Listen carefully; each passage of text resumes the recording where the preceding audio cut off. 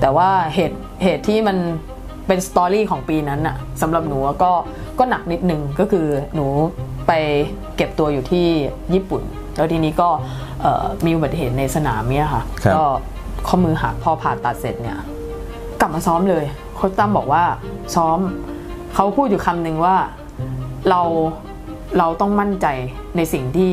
พี่เลือกเราอืมเอ่อเขากับโค้ชดมอะก็พูดแบบว่าเขาเลือกเราแล้วอะไรเงี้ย เลือกที่จะเอาเราไป ฉะนั้นเราต้องแสดงให้ให้ทุกคนที่มีคำถามอยู่ในหัวว่าเอาเราไปเออไปทำไมพอกลับมาจากตรงเนี้ยมันก็เป็นรายการที่เติร์กเมนต่อเลย มันปีเดียวกันนะคะแล้วก็รู้สึกว่าไม่ได้ละรายการเนี้ยต้องต้องกลับมาให้ได้ละอะไรที่มันที่มันบั่นทอนเรารายการเบไว้อนเอเชียนอินดอร์ไหมใช่ค่ะใช่ไหมอินดอร์มาเชนอาร์ตเนี่ยค่ะอ่า มันมันเป็นเหรียญประวัติศาสตร์ของของวงการฟุตซอลหญิงทีมชาติไทยทั้งเลยนะผู้หญิงทั้งผู้ชายเลยอืมผู้ชายก็ไม่เคยได้อืมแล้วมันเป็นเหรียญแรกที่เราทำได้ แล้วมันเป็นรายการที่หนูคิดว่าหนูเล่นดีที่สุด ตั้งแต่หนูเล่นฟุตบอลมาอืมเล่นฟุตซอลมา รายการเนี้ยหนูยิงไป 5 ประตู แล้ว 2 ใน 5 ประตูนั้นคือยิงอิหร่าน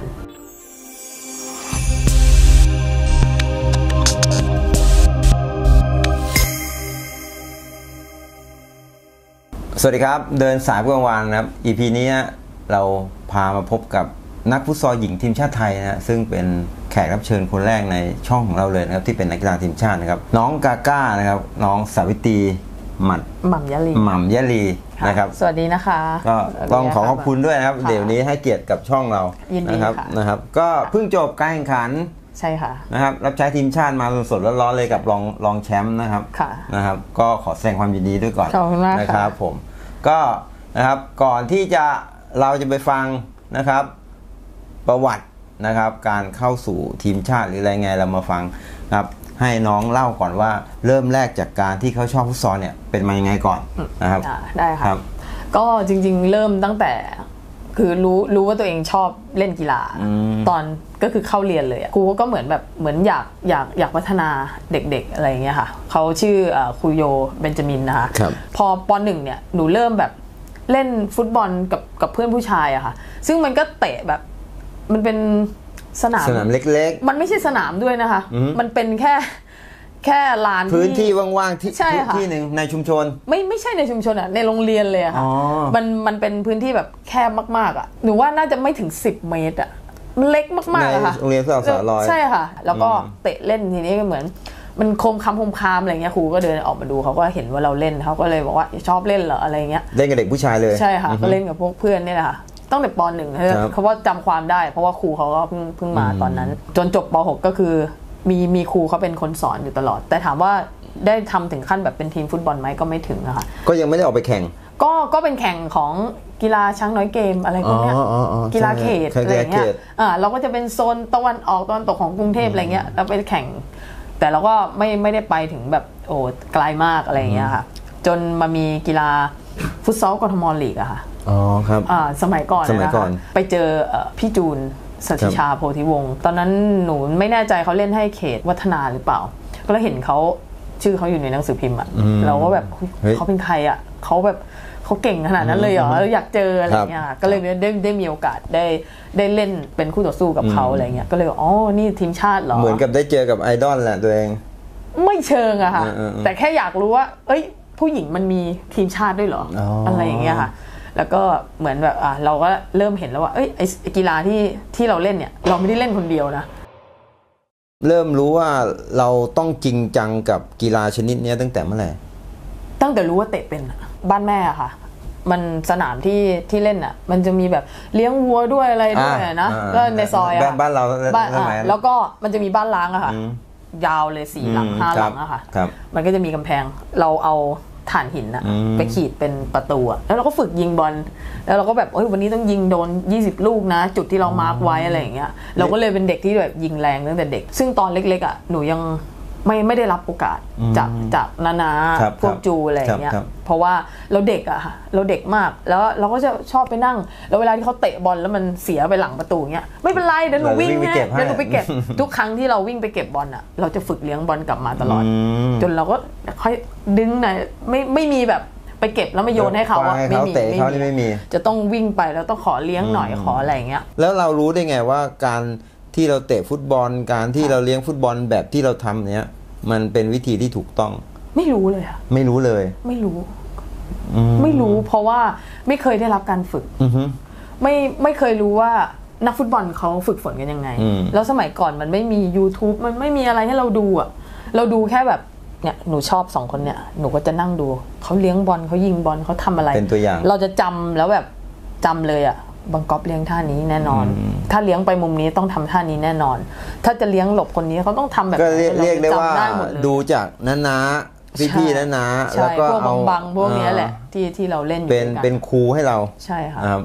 แล้วก็หลังจากที่เราอยู่ในมัธยมจนถึงม .6 ไหมครูวิทย์เออ ใช่ค่ะอยู่อืมอยู่ แต่ว่าช่วงที่ติดทีมชาติครั้งแรกอะหนูเล่นฟุตบอลใหญ่อ๋อเหรอหนูติดทีมชาติ U16 U19 ที่เป็นฟุตบอลอืม11คน คือตอนนั้นอะจุดเริ่มต้นมันก็คือเหมือนแบบเราชอบอ่านหนังสือพิมพ์อะครับชอบมากเลยแล้วเราก็เปิดไปดูข่าวกีฬาค่ะ ก็เขาก็บอกว่ามีคัดการคัดอ่าอะไรอย่างเงี้ยค่ะ ก็เลยโทรไปหาครูโย ซึ่งตอนนั้นครูเนี่ยย้ายย้ายโรงเรียนไปประจำอยู่ที่โรงเรียนแสนแสบซึ่ง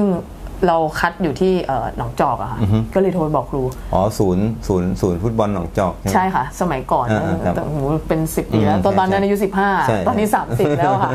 ก็ก็เลยโทรโทรไปบอกครูครูบอกอะลองดูอะไรอย่างเงี้ยก็เลยได้ลอง แล้วก็ติดเฉยเลย ก็เป็นครูโยอีกเหมือนกันที่ใช่คอค่ะยที่ที่ที่ไปนั่งดูเรา แล้วก็คอยบอกว่าเอ้ยเราต้องทำแบบนี้ลองทำดูอะไรอย่างเงี้ยอือฮึแล้วก็หลังจากที่เข้าแคมป์ ทีมชาติ 16 ปี ใช่ตอนอายุ ค่ะใช่ค่ะ15เป็นยังไงมั่งร้องไห้อะมันมันมันร้องไห้ไม่ใช่เพราะว่าแบบเราเราท้อหรืออะไรนะเราร้องไห้ที่เราไม่มีความรู้อะไรเลยอะแต่เพื่อนเข้าใจเพื่อนเขาเข้าใจ มีมากขนาดนี้แล้วอะเราเราเราเหมือนเริ่มเรียนใหม่ เรา warm ไม่เป็น อืม เรา warm ไม่เป็นเราเราอะไรไม่เป็นเลยอะค่ะ ตอนที่เขา warm step เท้าอะเราทำไม่เป็นเลยอะอือฮึเราไม่เคยได้รับการฝึกเราไม่รู้ว่าต้องทำยังไงอะเข้าใจแล้ว 30 คนอะหนูอยู่คนที่ 30 หมายถึงว่าเราเราจะอยู่ในแถว เราต้องดูก็คือดูต้องดูข้างหน้าคไปเป็นรื่ตัวอย่างจนจนจนเราเหมือนแบบอันที่นี่ใช่สำหรับเราหรือเปล่าอืมอะไรอย่างเงี้ยเราเรามีความคิดแต่ถามว่าได้ท้อไหมเปล่านะคะ แต่ว่าแค่รู้สึกว่าเหมือนเราเรียนรู้ช้ากว่าเพื่อน แล้วเราไปอยู่ในช่วงแข่งขันนะคะมันเลยการเลยกลายเป็นว่าเราเรียนรู้ช้าช้ามันทำให้ช้าการมากเราอะทำที่ตามเพื่อนเนี่ย ใช่ค่ะ มันเลยเกิดการเหนื่อย แล้วก็เราติดไปแข่งกับทีมไหมติดค่ะ ติดหนึ่งในสิบแปดหนึ่งในก็18ก็ก็ได้ไปแข่งแข่งแข่งขันตอนนั้น เราไม่เคยเล่นสนามใหญ่เลยแล้วเราไปไปใช่ค่ะไปเล่นติดในตำแหน่งอะไร เออตอนแรกหนูคัดเนี่ยวันที่คัดเนี่ยเอ่อคัดติดปีก ปีกขวาอ่าครับปีกขวาปีกซ้ายเพราะวิ่งค่อนข้างเร็วตอนนั้นนะคะอืมเร็วแล้วก็เลี้ยงบอลก็ดียิงบอลหนักอะไรเงี้ยพอเล่นไปเล่นมาพอไปซ้อมมาอยู่ back มั่งมาอยู่ stopper บ้างอะไรอย่างเงี้ยเราก็เลยเหมือนไม่ค่อย happy กับกับการเล่นสักเท่าไหร่ละเพราะเราจริง ๆ เราไม่ใช่ตัวรับธรรมชาติเราไม่ชอบอืมอืมเราชอบเล่นแต่เกมรุกอย่างเดียว ไม่เข้ากับไม่เข้ากับอุปนิสัยเราแหละอ่าประมาณนั้นนะคะบัง แล้วก็กลับมาปุ๊บก็มาเล่นลีกฟุตบอลกับกับโค้ชจิ๊บ ลีกฟุตบอล 11 คนเลย ใช่ค่ะ ของของผู้หญิงนี่แหละค่ะ ตอนนั้นมันเป็น division มันเป็นชื่อ division ครับ ยังไม่ได้ขึ้นขึ้นลีกนะคะเป็น division แล้วก็เล่นเล่นฟุตซอลกับอาจารย์อเนกเดชมิตรไปด้วย แล้วก็เล่นเนอะกีพวกกีฬาเยาวชนกีฬานักเรียนนักก็ศึเล่นกษาควบคู่กันเล่ไปนเลยมาแต่ว่าเป็นในสายฟุตซอลละครับครับจุดเปลี่ยนก็คือฟุตซอลผู้หญิงอะมันไม่เคยมีเปิดคัดอะค่ะเออ ไม่เคยมีเลยแล้วมันมีรุ่นเดียวค่ะ ก็คือชุดใหญ่เลย มันไม่เหมือนฟุตบอลที่มี U16 U19 ใช่ใช่ซึ่งตอนนั้นหนูถ้าจำไม่ผิดปี 2013อะค่ะครับโค้ชเอกพัทยาเปี่ยมคุ้มครับอ่ามาทำฟุตซอลผู้หญิงอือฮึก็เขาก็เปิดคัด แล้วเราก็เหมือนแบบเป็นแข้งหน้าใหม่อ่าได้ได้เข้าไป เปิดคัดนี่คือรุ่นประชาเออใช่ค่ะ ไม่มีก็ใครไม่ใครไม่จะมีมาอยู่ก็ได้ไม่ใช่มีค่ะอยู่ตอนนั้นเรียนมหาลัยแล้วค่ะอ่าอ่าไปเรียนอยู่อาแบกก็เลย ได้ได้มาคัดกับเขา แล้วก็ติดเฉยอ่าแต่ว่าพอเล่นไปเหมือนเราไม่มีระบบอะพอเราไปอยู่กับบอลที่เขามีอยู่ระในบบ เราเราเล่นไม่ได้ เราก็ต้องยอมรับว่าเฮ้ยเราต้องกลับมาฝึก เราก็โดนตัดในช่วงโค้งสุดท้ายเหมือนเดิมอะไรอย่างเงี้ยแล้วก็มีโอกาสเข้าไปอีกไหมมีค่ะมีมีครับก็มาช่วงเอ่ออาจารย์หมีอ่าอาครับจารย์หมีทครับำอันเนี้ยก็เนี่ยเนี่ยไอตัวเหรียญอันนี้แหละอืม AFC ครับ เป็นชิงแชมป์เอเชียครั้งแรกจัดครั้งแรกที่เอ่อประเทศมาเลเซียเราได้ที่แล้วก็หลังจากนั้นมากับทีมชาติเป็นยังไง3คือตอนนั้นหนูเด็กมากนะ ถ้าถ้านับไปตอนนั้นปี 2015อืมอืมก็ก็ก็ถือว่ายังใหม่แล้วก็เด็กสำสำสำหรับกีกีฬาระดับเนี้ยนะครับเอเชีย แต่หนูว่าหนูพอใจในผลงานตัวเอง เพราะเป็นเป็นแมตช์ ลูกแรกที่หนูยิงในนามทีมชาติมันเป็นยิงญี่ปุ่นไงอ๋อแล้วเราจำแบบโหเราเราจำฟิลลิ่งเราจำทุกอย่างได้ตอนนั้นอะแล้วก็เอ่อมายิงนัดชิงที่ 3 อีกยิงมาเลเซียอะไรเงี้ยเอ่อยิงลูกนั้นตีเสมอถ้าหนูจำไม่ผิดนะเอ่อตีเสมอเขาก็เลยเหมือนแบบ เราเรามี เริ่มมีความสุข อ่าใช่ค่ะ เราเราเริ่มเล่นแล้วเราแบบเฮ้ยเรา happy กับมันละอืม happyแบบมาก ๆ เลยอะคืออารมณ์อารมณ์ต่างกับฟุตบอลฟุตบอล11คนเลยใช่นะใช่เราเราถึงเราจะได้เล่นแบบไม่ได้เยอะถึงขั้นแบบ โหยืนอยู่ในสนามอืม90 นาทีอะเข้าใจแต่มันเป็น 2-3 นาทีที่เราลงไปแล้วเรามั่นใจอะมั่นใจ เราลงไปแล้วเราได้บอลเราทำได้เราวิ่งไล่บอลโดยที่แบบ โอเคเราไม่ได้บอลอะแต่เพื่อนข้างหลังตัดได้เนี่ยหูยเรา happy มากเลยอะจากการบีบบอลของเราอะไรอย่างเงี้ยเราเราเริ่มกลับมามีความสุข คือฟุตซอลเนี่ยบอกว่า ในสนามสี่ห้าคนรวมประตูเนี่ยค่ะบทบาทหน้าที่มีความสำคัญในถูกค่ะในถูในกนั้นหมดนะถูกไม่เหมือนใช่11คนก็ข้างหลังก็ตัดไปเดทข้างหน้ารอใช่นะใช่ ข้างกองหน้าอย่างเงี้ยก็ยืนรออะรอเพื่อนไล่บอลเอาบอลมาให้อย่างฟุตเงี้ย ซอลต้องมีครบต้องเวอร์ต้ต้อองงมีช่วยอะไรกันหมดมันช่วยกันหมด มันใช่ก็เลยทำให้เรากลายเป็นแบบว่า เราเป็นส่วนหนึ่งของเกมที่เราลงไปสองใช่ สามนาทีนั้น ใช่ค่ะ นะ หนูก็เลยรู้สึกว่าหนูมีความสุขกับเวลาตรงสองแหละนาที อืม คือเราอยากจะบอกน้องๆที่เล่นฟุตซอลนะ บางคนลงไปสองนาที โค้ชเปลี่ยนตัวออกทำหน้าตาไม่พอใจาใช่ใช่ใช่ใช่นะ มันมันมันมีค่ะ มันมี มีมีมีแต่ทั้งๆที่เขาดูแล้วว่ามึงลงเราหน้าที่ของเราอะทำได้แค่ไหนอ่าใช่ค่ะนะใช่ อยากจะบอกน้องดูตัวอย่าง ดูตัวอย่างพี่ก็กล้าไว้นะครับค่ะว่า เรามีหน้าที่เวลาแค่ไหนเราต้องทำแค่นั้นใช่ตรงนั้นใช่ให้เต็มที่ เพราะว่าการที่โค้ชส่งเราลงไปคือเขาไว้ใจเราละเขาไว้ใจให้เราลงไปทำอืมแต่ว่าแผนงานที่เขาวางไว้ให้เราอะมันอาจจะไม่ได้เหมือนเพื่อนอะไรอย่างเงี้ย แต่เราก็ต้องทำหลังจากโค้ชหมีคุมแล้วก็ ไปรายการไหนต่อ พอโค้ชหมีเนี่ยช่วงปี 2015 ใช่ไหมคะพอครับเราแข่งจบไปมันก็ไม่มีทัวร์นาเมนต์อืมปี 2016 นี่ไม่มีเลย แล้วก็มาเนี่ยปี 2017 มาเป็นที่กัวลาลัมเปอร์เป็นซีเกมส์ อ๋อ ซีเกมส์อ่าใช่ค่ะโค้ชดมก็ก็มาเป็น head ตอนนั้น แล้วก็รอง head ก็เป็นพี่ตั้มเหมือนเดิอ่าครับอ่าแต่ว่าเหตุเหตุที่มันเป็น story ของปีนั้นอะสำหรับหนูก็ก็หนักนิดนึงก็คือหนูไปเก็บตัวอยู่ที่ญี่ปุ่น แล้วทีนี้ก็เอ่อมีอุบัติเหตุในสนามเนี่ยค่ะครับก็ข้อมือหักอะไรเงี้ยข้อมือซ้ายอ่าข้อมือซ้ายครับค่ะหัก แล้วก็เหมือนเราต้องใช้ชีวิตอยู่อยู่ที่นั่นอะ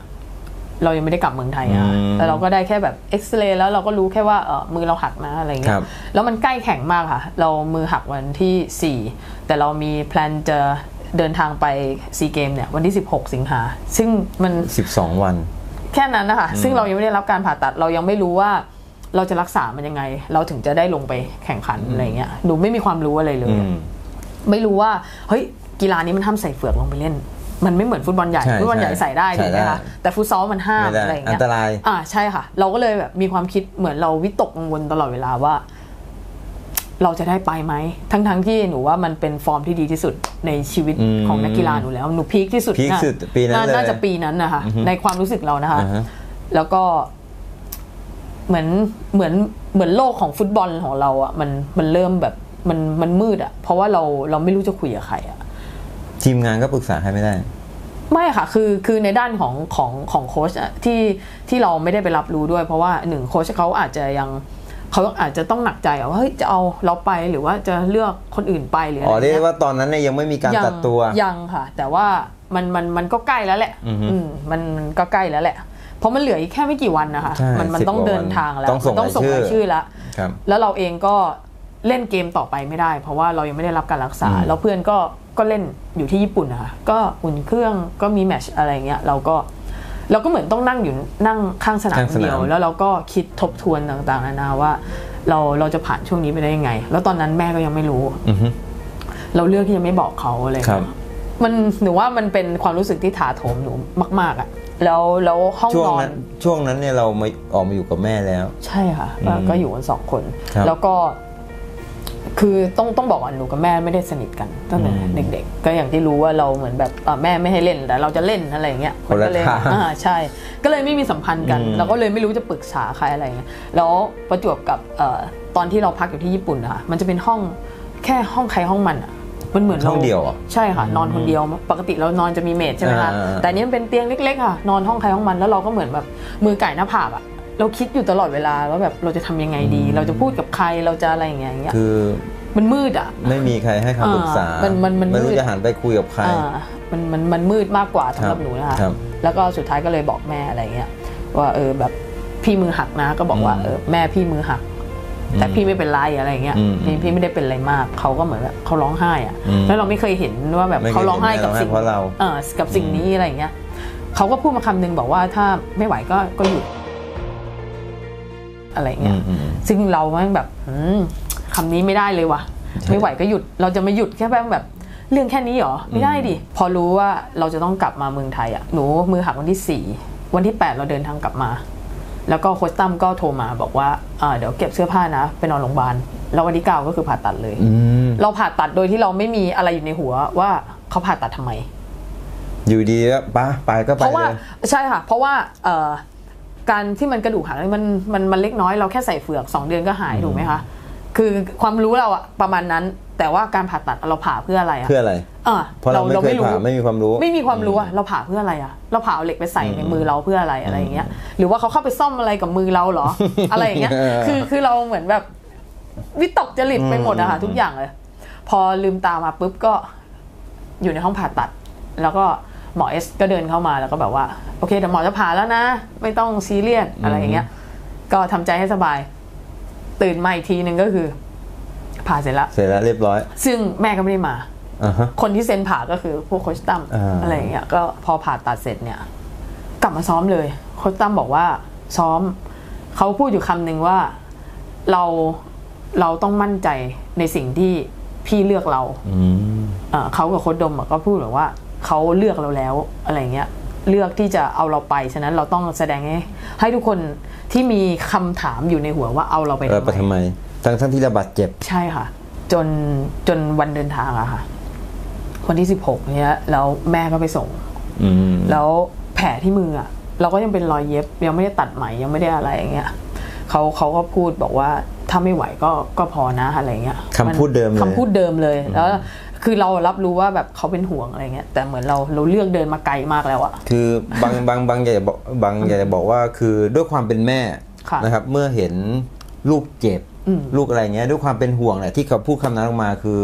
ด้วยความหวังดีค่ะนะไม่ไม่ไม่ไม่มีความไม่มีความความหมายอื่นเลย ใช่ใช่นะแล้วก็เราเราก็รับรู้ได้ใช่แล้วก็เลยเป็นเหมือนแบบครั้งแรกที่เรารู้สึกกับแม่ว่าแบบ มันมันมากกว่าคำพูดอะอืมอืมเพราะเราไม่เคย เราไม่เคยสัมสัมผัสกันเราเราไม่กอดไม่หอมกันอ๋อเราเราไม่มีปฏิสัมพันธ์กันนานมากนานมากจนจนเราจำไม่ได้อะค่ะอ่า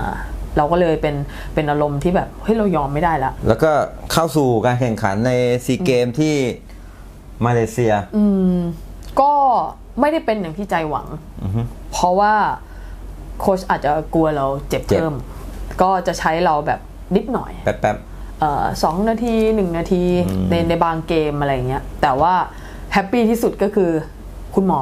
อมที่ผ่าตัดเราอะบินไปด้วย อ๋อ ไปดูแลเลยเหรอ ไปดูค่ะอืมไปเทปให้ไปอะไรให้แล้วก็เขาพูดกับเราว่า ไม่เป็นไร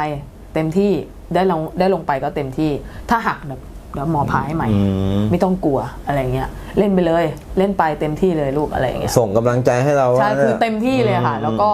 ผู้จัดการทีมในตอนนั้นด้วยค่ะ คุณแป้งก็ครับ น่ารักสุดๆมาดามแป้งเหรอ ไม่ไม่ค่ะเออเป็นคุณคุณแป้งกมลวันอ๋อ ของปตทอ๋อปตทอ่าครับใช่ค่ะ ก็ก็ให้กำลังใจแล้วก็เขาพยายามติดต่อหาคุณแม่ให้ตลอดอะไรเงี้ย อืม เพื่อบอกแม่ว่าเราไม่เป็นไรนะ เราลูกโอเคนะอะไรอย่างเงี้ยเขาเข้มแข็งเขาอะไรอย่างเงี้ยเขาก็พยายามให้กำลังใจเราตตลอดอะค่ะเพราะคุณแป้งก็น่ารักน่ารักมาก หนึ่งในอีกหนึ่งหนึ่งในสตอรี่ความทรงจำของเราใช่เลยค่ะ นะ ทั้งทั้งที่มันเป็นรายการที่ไม่น่าจดจำของหนูนะอืมอืมถ้าถ้าเทียบกันอะถามว่าเหรียญทองนี้ภูมิใจไหมมันมันภูมิใจแหละ เพราะว่าเราเราแลกมากับสิ่งที่เราบาดเจ็บในครั้งแรกที่มันแบบ เออมันทำให้เราแบบเดินมาถึงตรงเนี้ยนะเราอาจจะมีโอกาสน้อยน้กับอยรายการน้อยไปนิดหนึ่งทั้งแต่ทั้งที่ตอนที่เราซ้อมอะเรารู้สึกว่ามันเราโคตรดีมากๆเลยมันดีมากอะอืมมันดีจนแบบ เราว่าเฮ้ยเราต้อง แจ้งเกิดกับรายการเนี้ยอืมให้ได้ให้ให้ได้อะค่ะเออสุดท้ายมันไม่เป็นอย่างหวังมันก็เลยเหมือนแบบ เราเฟลนิดนึง เราไม่มีรอยยิ้มกับกับตอนที่รับเหรียญที่ที่เรารับเหรียญอะแต่แต่เรายินดีกับเพื่อนๆนะคะที่เพื่อนๆลงไปทำหน้าที่ แล้วก็ทุกคนทำได้ดีอะเราเราถึงแบบได้เหรียญนี้มาความรู้สึกอะไรส่วนเงี้ยตัวนะอ่าใช่ค่ะพอกลับมาจากตรงเนี้ยมันก็เป็นรายการที่เติร์กเมนต่อเลย มันปีเดียวกันนะคะก็เก็บตัวต่อเนื่องใช่ค่ะ แล้วก็รู้สึกว่าไม่ได้ละรายการเนี้ยต้องต้องกลับมาให้ได้ละ อะไรที่มันที่มันบั่นทอนเรารายการเบไว้อน Asian Indoor ไหมใช่ค่ะใช่ไหม Indoor Martial อืม Art เนี่ยค่ะอ่าอ่ามันมันเป็นเหรียญประวัติศาสตร์ของของวงการขฟุองตวงซอลหญิงทีมชาติไทยทั้งเลยนะผู้หญิงทั้งผู้ชายเลย ผู้ชายก็ไม่เคยได้อืมแล้วมันเป็นเหรียญแรกที่เราทำได้ แล้วมันเป็นรายการที่หนูคิดว่าหนูเล่นดีที่สุด ตั้งแต่หนูเล่นฟุตบอลมาอืมเล่นฟุตซอลมา รายการเนี้ยหนูยิงไป5ประตู แล้วสองใน5ประตูนั้นคือยิงอิหร่านอื้อหือ ถึงแม้มันจะเป็นจุดโทษจุดแรก จุดโทษจุดสองแต่ว่ามันมาจากเรา มันมาจากความมั่นใจของเราแบบเราเพื่อนอะตอนตอนที่ได้จุดโทษสองเนี่ยค่ะ เออ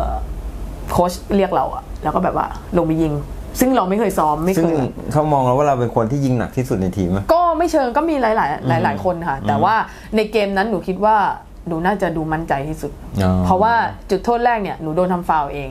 แล้วก็ก็ยิงเองอะไรอย่างเงี้ยซึ่งเพื่อนๆเขาก็เหมือนแบบเออให้ให้เรายิงอะไรอย่างเงี้ยค่ะอืมหนูจำได้หมดค่ะตอนนั้นในสนามมีใครบ้างหรืออะไรอย่างเงี้ยจำจำได้หมดแสดงว่ารายการนี้นี่นะที่สุดที่สุดที่สุดในชีวิตเยนะแล้วอืมถ้าถ้าตั้งแต่เล่นมานะคะมันมันเป็นอะไรที่เหมือนแบบมันเกินฝันอะครับหนูสำสำหรับตัวหนูนะคะสำหรับบางคนหนูว่าเขาอาจจะ ผ่านการเล่นในอินดอร์ม a ช i นอาร์ตมาหลายครั้งอะไรอย่างเงี้ยแต่หนูอะมันเป็นครั้งแรครั้งแรกครั้งแรก แล้วก็หนูว่ามันมันเป็นช่วงที่ดีที่สุดในชีวิตเราอะครับหนูว่าเราน่าจะต้องทำได้ดีมาก ๆ ในระดับหนึ่งอะไรเงี้ยแล้วก็บวกกับทุกคนอะหนูว่ามันอยู่ในช่วงวัยที่กำลังดีไปหมดเลยอะไม่อายุมากเกินไปไม่น้อยเกินไม่ไปน้อยเกินไปไอ้น้อยก็มีอยู่แค่ไม่กี่คนอะไรเงี้ยแต่คน ที่มันอยู่ในกลุ่มใหญ่ ๆ มันก็ยังเป็นช่วงอายุที่หนูว่ากำลังพีดีคกำลังดีเลยอะอืมใช่ แล้วก็มาถึงทีมชาติชุดล่าสุดที่เพิ่งแข่งขันลงจบลงไปอืมหนูให้ความสำคัญกับมัน เพราะว่าเหมือนเรากลับมาเริ่มนับหนึ่งใหม่ เพราะว่าหนูประสบอุบัติเหตุเรื่องเอ่อเอ็นไขว้หน้าขาดแข่งลีกเสร็จเนี่ยค่ะลีกลีกปี 2020 ก็มีเพื่อนชวนไปเล่นบอลเดินสายนี่แหละ ซึ่งเราอะเตะบอลเดินสายมาตั้งแต่เด็กละแล้วเราก็ไปเล่น พอเป่านกหวีดปุ๊บเขี่ยบอลปุ๊บเขาเข้าปะทะเราปุ๊บเอ็นขาดเลย เราโดนบอลแค่ครั้งเดียว วิเดียวก็คือหลังจากที่เรา เรายังแทบไม่ได้โชว์อะไรเลยก็คือแบบ ยังไม่ได้ทำอะไรเลยว่าแตะบอลออกมาปุ๊บเขี่ยบอลแล้วโดนเลย อืมแล้วดังได้ยินเสียงดังป๊อปอยู่ในเข่าอะค่ะ อื้อหือแล้วเราก็ออกมาปฐมพยาบาลเบื้องต้น ซึ่งเพื่อนที่ไปด้วยกันเพื่อนก็ยังบอกว่าเฮ้ยไม่เป็นไรมากหรอกเออมันไม่ต้องกังวลอะไรอย่างเงี้ยแต่เราอะรู้ว่ามันมีอะไรผิดปกติในร่างกายเราอะเราเดินเหมือนเรามีขาสองท่อนอะ แล้วเราเดินเหมือนเราตกหลุมอะค่ะ ช่วงนั้นก็ยังไม่มีโปรแกรมทีมชาติ เออไม่มีโปรแกรมทีมชาติ แต่ว่ามีทีมติดต่อมาจากคูเวตจะให้ไปเล่นลีกที่นั่น ซึ่งเอ่ออาปอมอะค่ะครับอ่าเป็นเป็นเป็นคนโทรมาเองอืมอะไรเงี้ยก็เป็นคนติต่อดีลให้แหละ ใช่ค่ะดีลให้เรื่องอะไรต่างอืมอืมๆจนจนมันไฟนอลแล้วว่าเราเอออีกอาทิตย์เราได้ไปแน่ใช่ค่ะ ก็ทั้งผิดหวังทั้งทั้งไม่รู้จะทำยังไงอะค่ะเหมือนเราต้อง หยุดทั้งงานด้วยซึ่งตอนนั้นงานหนูเนี่ยหนูสอนฟุตบอลวันหนึ่งค่อนข้างเยอะอะค่ะทั้งทั้งรายได้ทั้งอะไรแต่อะไรมันมันเสียไปหมด แล้วมันก็เหมือน มีผลกระทบหมดเลย แต่หนูว่าไอ้ที่กระทบกับหนูมากที่สุดคือจิตใจ จิตใจแล้วก็เราไม่รู้จะเริ่มต้นกับมันยังไงอีกครั้งหนึ่งหนูก็เริ่มศึกษาเลยค่ะ ทุกคนที่หนูมีข้อมูลก็คือหนูจดใส่ในสมุดหมด หนูโทรไปถามหมด พี่บีเอ่อผ่าตัดแล้วต้องทำอะไรต้องทำยังไงบ้าง หลังก่อนผ่าทำอะไร หนูโทรไปทุกคนที่หนูรู้จักเราศึกษาหาหมดเลย ก่อนที่เราจะผ่าตัด ซึ่งคุณหมอโอ๊ตก็น่ารักมากก็คือแบบเอ่อเป็นคนแบบเอ่อดิวทุกอย่างให้เราเพื่อแบบไปผ่าตัดที่โรงพยาบาลคุณหมอนะคะโรงพยาบาลเวชการลุนรัตน์อยู่ที่เอ่อหนองจอกค่ะครับหลังจากผ่าครับได้เข้ารับการผ่าตัดเข่าแล้วมันเป็นยังไงบ้างก็ก็ก็พยายามคิดบวกตลอดนะคะถามว่ามีน้ำตาไหมมันก็ก็ต้องมีต้องบ้างมี ต้องมีบ้าง แล้วกลับมาก็อยู่ที่ห้องเนี่ยค่ะน้องสาวมาอยู่เป็นเพื่อนสองคนอืมเขาก็ดูแลอย่างดีทุกอย่างอะค่ะเอ่อเรื่องกายภาพเรื่องอะไรเขาก็ช่วยเหลือเราตลอด ใช้เวลารักษาตัวอยู่กี่เดือน เออถ้าอยู่กับพี่ขวัญเนี่ยกายภาพล้วนเอ่อทั้งกายภาพทั้งเทรนด้วยอะไรอย่างเงี้ยนะคะเอ่ออยู่ที่ประมาณ 9 เดือนกว่าที่เราจะมั่นใจว่าแบบเราเราพๆร้หอลัมงจากที่เราผ่าตัดเสร็จแล้วอ่าใช่ใช่ใช่ค่ะ ก็หลังจากที่เรา ทำรักษาดูแลร่างกายของเรามา 9 เดือน ค่ะ รายการแรกหลังจากที่เราได้รับการบาดเจ็บเออเป็นลีกค่ะลีกลีกปีล่าสุด อ่าเนี่ยน่าก็ยังเล่นให้กรุงเทพมหานครเหมือนเดิยัม งเล่นก็เหมือนจะเป็นวันแมนขับมั้งคะจะเล่นอยู่สโมสรเดียว ถ้าเขายังให้โอกาสเล่นนะคะก็ใช่บางก็ ไม่ได้อยากเปลี่ยนลีกลีกปีล่าสุดก็ติดตามค่ะ ติดตามลีกผู้หญิงปีล่าสุด ค่ะ เพราะว่านาโออีกเหมือนกันอืม ไปเขาไปทำทำมสวมสวค่ะก็เลยไปติดตามไปให้กำลังใจ ก็ถือว่าเป็นน้องแหละนะโอค่ะนะก็เลยทำให้เรารู้ว่าลีกฟุตซอลผู้หญิงเนี่ยมันก็มีสนุกนะอ่าเออมันสนุกค่ะมันเริ่มแบบเฮ้ยสนุกแล้วก็เคยยังเคยบอกโอว่าเดี๋ยวจะไปดูแต่เวลามันไม่ตรงกันก็เลยไม่ได้ไป ก็แข่งไกลด้วยเนาะใช่นครนายกก็ได้แชมป์อ่าใช่ค่ะนะครับ แล้วก็ก็ชนะทีมอาจารย์โอนี่แหละใช่นัดชิงดูอยู่ค่ะก็หลังจากจบลีก ก็มาเป็นทีมชาติทีนี่มแหละชาติ รายการล่าสุดเลยเออมันจะมีช่วงหนึ่งเราจะไปอิหร่าน แต่ว่าโดนแคนเซิลไปแต่เส้นใช่นะโอก็จะไปเป็นทีมงานด้วย อ่าใช่ใช่ค่ะเราก็ซ้อมไปตอนนั้นอืมเราก็แค่สองอาทิตย์อะค่ะใช่แล้วก็อยู่ๆเขาก็บอกว่าเออไม่ได้ไปอะไรอย่างเงี้ยค่ะ ก็พักอืมไปแล้วก็เนี่ยเพิ่งจะมารายการเนี้ยอืมที่เป็นรายการ แรกสำสำหรับนานาชาติสำหรับหนูนะคะอืมที่หลังจากการผ่าผ่าตัดเขาหนูก็เลยค่อนข้างอินกับมันนิดนึง เพราะว่าเหมือนเหมือนเราใหม่ ไฟไฟเริ่มใหม่แล้ว ใช่ค่ะมันมันก็ใหม่อะค่ะ อืมเพราะอย่างอย่างตอนลีกอะระยะเวลามันก็ยังมีให้เราได้โชว์ได้อะไร อืม แล้วก็เรื่อยๆอะนะคะ ครับ เพราะว่ามันก็แข่งอยู่ในประเทศ อืมแล้วก็คู่แข่งอาจจะไม่ได้หนักหนักมากเหมือนระดับชาติ เหมือนระดับชาติใช่ค่ะ พอมาตรงเนี้ยถามว่าร่างกายเรายัง การที่ร่างกายเรายังไม่ได้แบบฟูลเหมือนตอนที่100%ที่ที่เรายังไม่ได้ผ่าอืมแต่ว่าเราก็อยากเรียกความมั่นใจมันจากจากรายการเนี้ยค่ะ เรายิ่งรู้ว่าเออมีญี่ปุ่นมาอะไรเงี้ย เราก็แบบ ไม่รู้สิเออมันเวลาได้ยินชื่อนี้แล้วเราแบบ ออ เราเราอยากเราอยากชนะลงอเออเราอยากลงไปเล่นแล้วก็แบบว่าอืมเอาชนะมันให้ให้ได้อะไรอย่างเงี้ยค่ะ มันก็เลยถึงมันจะเป็นแค่เหรียญเหรียญเงินแต่ว่า ก็ก็ยังรู้สึกว่า เราก็ยังภูมิใจกับมัน ที่เราพาตัวเองกลับมายืนตรงนี้ได้ ก็ต้องขอบคุณเอ่อโค้ชถึกโค้ชโอทุกโค้ชทุกคนนะคะที่ที่ยังให้ให้โอกาสความเอ่อนะความไว้ใจเราอืมทั้งทั้งๆที่ถ้าพูดถึงเราก็เหมือนแบบเป็นแข้งหน้าใหม่ไปแล้วอะอืมเพราะเราห่างจากทีมชาติมาก็โอ้โหหลายปีนะสถ้าสามสี่ปีได้ถ้านะถ้าเทียบอันนี้นี่รายการเนี่ยเนี้ยสุดท้ายปีใช่2018อะค่ะแล้วก็มานี่ก็ นี่สี่ยี่สิบสามอะสี่ปีห้าปีสำหรับเวทีทีมชาตินะคะอ่าเราก็เลยรู้สึกว่ามันมันมันสร้างแรงบันดาลใจของเรากลับมาอีกครั้งหนึ่งอะเป้าหมายเราต่อไปกับเอ่อฟุตซอลก็ยังเป็นอินดอร์ a ช i นอาร์ตยังยังอยากที่จะรักษาแชมป์ยังอยากที่จะป้องกันมัน เพราะว่าพอเราแพ้จะเขาครั้งเนี้ย มันมันทำให้เราเห็นว่าเราต้องพัฒนาแบบ สุดๆ จริง ๆ เราถึงจะเอาชอะนะชนะเขาเขาได้ได้ ครั้งต่อไปที่ไหน ที่เมืองไทยอะค่ะเมืองไทยเอ่อปีปีหน้าเดือนกุมภาค่ะ ก็อ๋อก็เหลืออีกยังนี่ก็นี่เหลือไม่กี่อีกไม่กี่เดือนเดือนแล้วเนี่ยเองใช่ค่ะเออก็ยังคาดหวังว่าจะมีโอกาสได้อืมได้ได้เข้าไปอยู่ในทีม ในสุดท้ายแล้วค่ะกับความทรงจำในกับฟุตซอลทีมชาติไทยมันทำให้เราเรามีไงบ้าง ถ้าในส่วนตัวนะคะ ครับ โอเคชีวิตความเป็นอยู่เรา เกิดขึ้นมาจากของพวกนี้ทั้งนั้อืนเลยมอืมหนูไม่เคยคิดว่าวันหนึ่งเราจะนั่งเครื่องบินอืมไม่เคยคิด แล้วก็ไม่ได้คิดด้วยว่า เราจะเที่ยวทั่วประเทศไทยโดยการที่เราไปเตะบอลอืมเราไปหมดเหนือใต้ออกตกเราไปมาหมด เราไปต่างประเทศเราอะไรเงี้ย เราได้มาจากมันทั้งนั้นเลยอะอืมพูดกับแม่ตลอดอะค่ะว่าถ้าไม่ไม่มีมันก็ลำบาก อย่างที่เราเห็นนะครับกับนอกจากน้องกาก้าคือ ที่เขาบอกว่าทุกวันเอ่อที่เขามีทุกวันนี้ได้เนี่ย ก็เกิดจากฟุตซอลที่เขารักนะเขาเกิดมาจากเอ่อเด็กผู้หญิงบ้านๆคนหนึ่งเลยใช่ค่ะ เอาจริงๆเด็กผู้หญิงบ้านๆคนอ่าที่รักในฟุตบอลชอบเตะฟุตบอลตามพี่ป้านะอาไป แล้วจนวันหนึ่งเขาประสบความสำเร็จ เรียกได้ว่าในชีวิตเขาแหละฟุตซอลให้ทุกอย่างกับเขาใช่นะครับ แล้วก็สำหรับ เอ่อ EP นี้นะครับ เดินสายบางวันก็ต้องขอขอบคุณนะครับ ค่ะ น้องกาก้าสาวิตรี หม่ำยะลี หม่ำยะลีค่ะ นะครับ แล้วก็ติดตามนะครับ ฝากติดตามน้องๆ แล้วก็นักกีฬาทีมชาติฟุตซอลหญิงคนอื่นๆด้วยนะครับ โดยเฉพาะเอ่อกีฬา Indoor Martial Art ใช่ไหมใช่ค่ะที่ยังไม่กี่เดือนละใช่ค่ะประเทศไทยก็ไปให้กำลังใจกันเยอะได้เลยๆนะครับค่ะ EP นี้ต้องขอขอบคุณนะครับ น้องกาก้าด้วยนะครับสวัสดีค่ะขอบคุณครับขอบคุณนะคะแล้วก็ฝากติดตามนะครับเพจเอ่อเดินสายกับบางวาน ช่อง YouTube เดินสายกับบางวานนะครับกดไลค์กดแชร์แล้วก็กด subscribe ให้ด้วย วันนี้ขอบคุณครับ น้ำดื่มน้องฟาติน ซูชิคันเทพ เตี๋ยววัดดง บางเกิกดีไซน์บานเสือบอนคอมพาส มาเฟียบุฟเฟ่